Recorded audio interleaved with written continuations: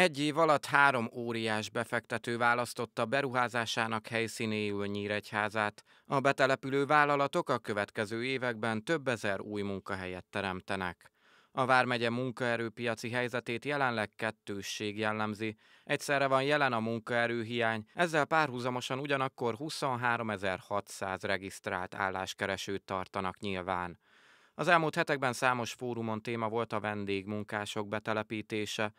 Kocsis László, a Vármegyei Kormányhivatal főosztályvezetője 35 perc című műsorunkban azt mondta, ideiglenesen szükség van külföldi dolgozókra, de elsőbséget egyértelműen a magyarok élveznek.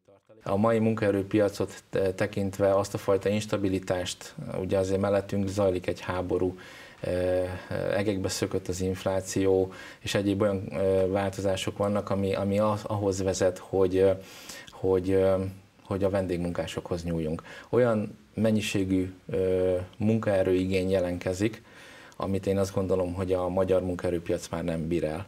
Egy jól megfontolt stratégiával, megfelelő országokból behozott vendégmunkások nem okozhatnak problémát a, a jövőben, és most is azt tudom mondani, hogy bármelyik magyar munka munkát kereső ember munkát tud találni magának, tehát ez nem veszélyezteti az ő álláshelyüket.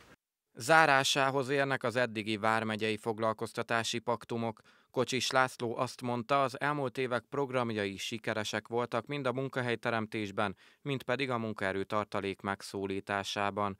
A főosztályvezető hozzátette, még idén elindul a Paktum Plus, amelynek egyik kiemelt célja lesz, hogy a szakképzési centrumokkal együttműködve növeljék a szakképzett munkaerők számát a megyei 23.600-as álláskeresői listából 50% a szakképzetlen munkaerő.